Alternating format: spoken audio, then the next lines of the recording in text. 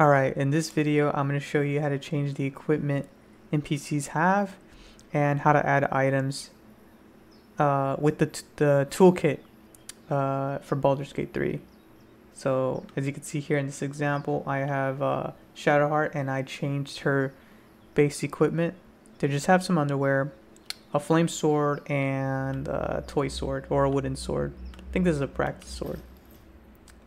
And I gave her two pairs of boots of speed and 420 gold. So let me show you how that's done. Um, some requirements before we, we continue. Uh, I'm going to be using the unlock toolkit modification for this. So make sure to download that. I have a video on that that you can check out. And other than that, I think that's the only requirement that you'll need. So let's get into it.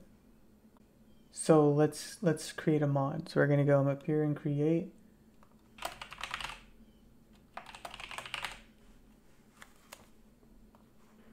Okay, so we're gonna find the act one.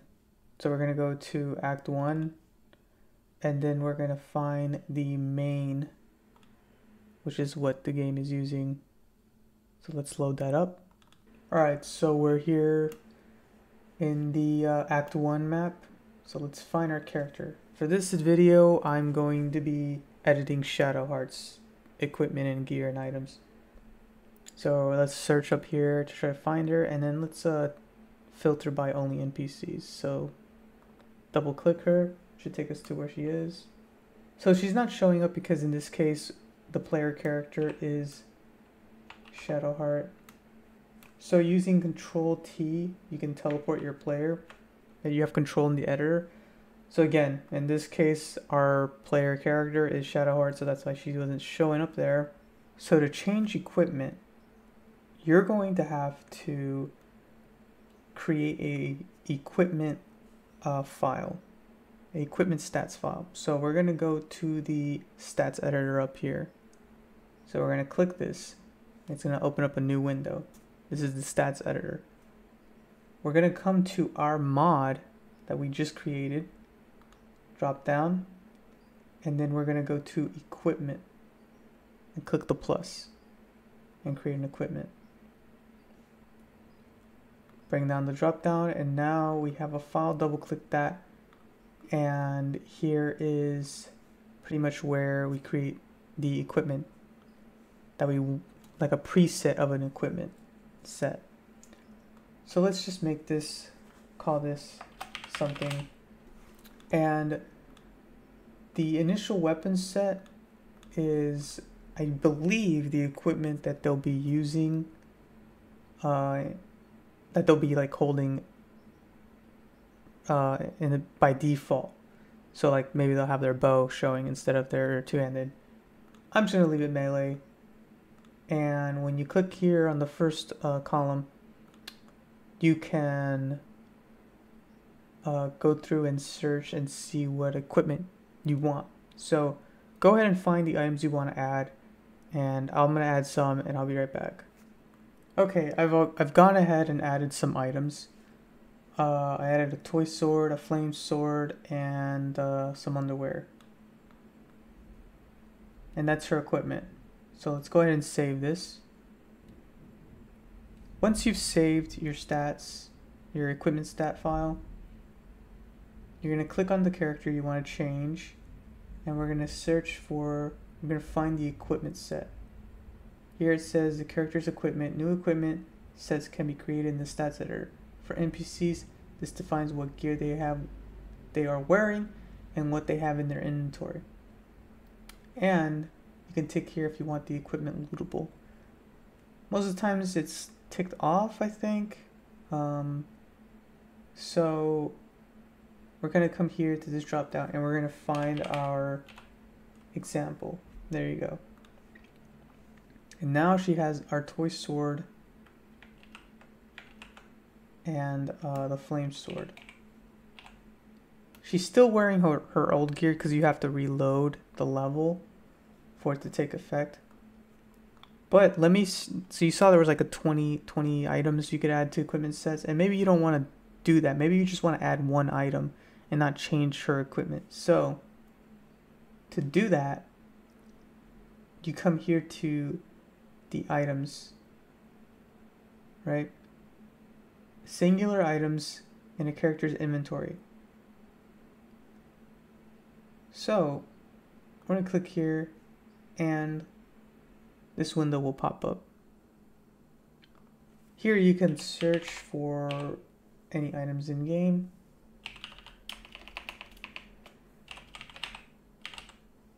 We're gonna give her the boots of speed.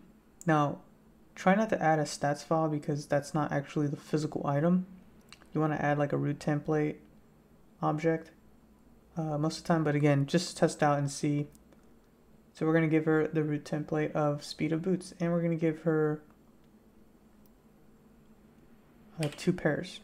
Now, before we move any further, I want to show you something that you need to do for this to actually take effect into your into your game.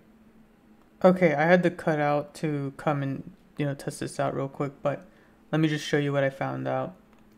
So I saved and reloaded, but when you click save, right? When you make the changes, you click save in your Gustav folder, um, which is again we're here at uh, our Baldur's Gate 3 data mods Gustav, and when you click save, it creates a folder in uh, in it instead of your mod. So you can see here, it creates it here in um in and this is the root template I um, GUI uh, GUID in the editor. So what you have to do for this to work in game is you have to move this over to your actual um, mod itself that you're editing. So I'm, I'm gonna move it over and now all this all the changes I've made when I enable that mod will work. Because before I would have I would make the changes, I would load up I would export my mod, load it up, and nothing changed. That's why. That's why it, wasn't reading those files. And she shows up in a global because of this uh, this uh, global tick up here is enabled. And let me just show you the other NPC I was working on. So I gave him the same gear as Shadowheart.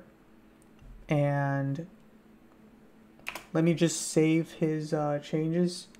And you're going to see a, um, instead of a global, because he's not global, it's going to be in levels. It's going to create a levels subfolder. Now, when you first do this, it will create a levels in the Gustav folder. And I'll show you right now. I'm going to change this NPC over here.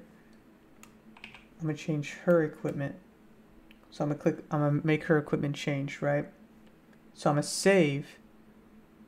And there you go. It's going to create a, uh, a level subfolder in my Gustav. And the reason and the reason um, it would create it in our mods is because I already edited and it has like I guess record of that NPC being edited. So again, it's gonna have this character's uh, GUID and changes. So I'm gonna move this over to my mod. Okay.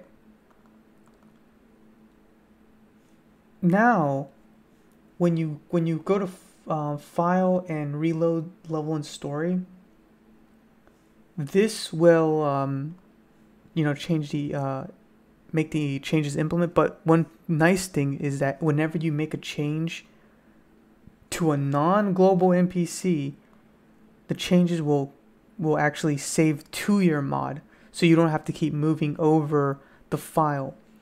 The thing I've noticed is that when I make a change to a global NPC, then you have to move it over.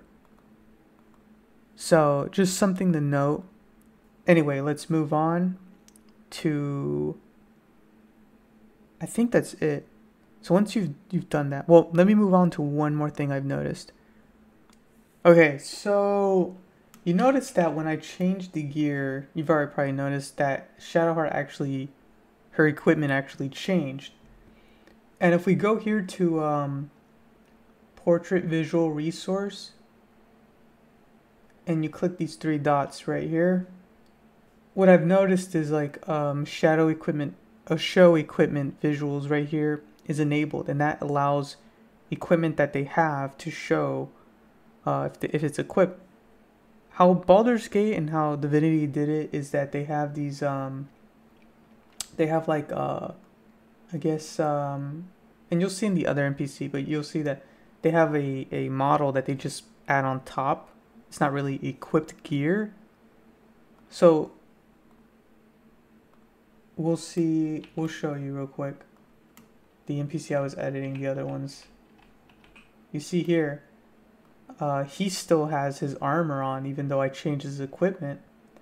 And if I go to the visual portrait, you'll see he, he doesn't have that ticked on. And here in the body, you could see uh, the equipment he is wearing, but it's just visual. It's not really him wearing anything.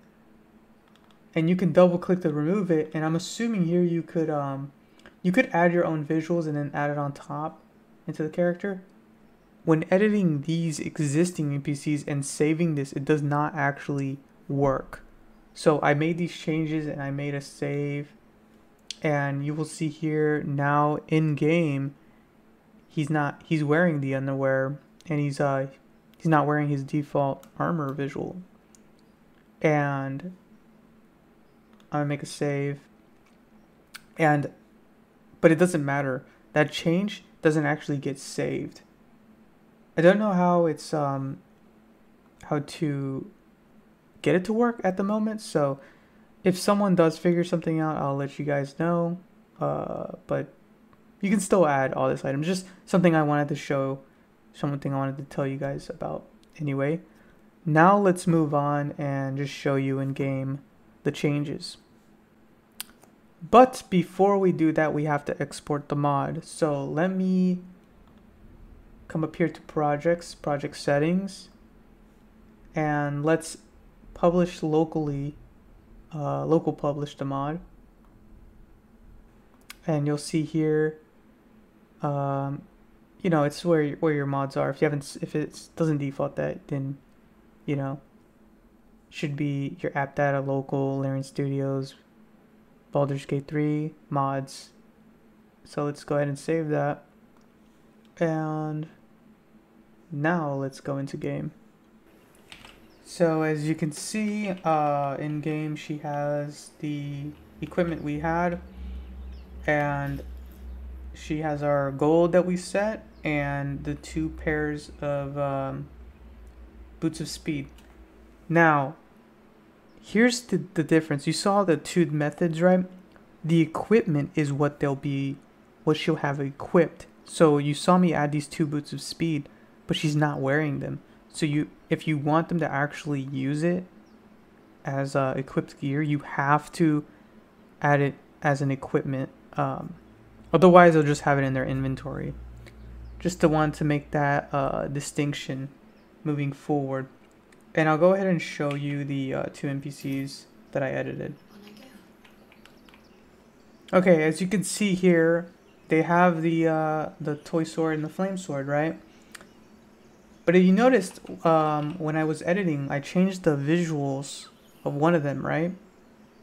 And he's not, he's still wearing his, uh, his gear that, his visual, uh, gear, visual resource. So, again, I don't know how to fix that. I don't know the workaround to that, but once someone figures out how to do it, I'll let you guys know. But let's check if he has the items I gave him. I think I gave him some gold. So let's see. Okay, so there you go. He has the gold amount I gave him, the flame blade, and the uh, practice sword or the toy sword. So yeah, he has um, he has the the items I gave him. So so that's how you add items and change uh, equipment of NPCs in Baldur's Gate 3.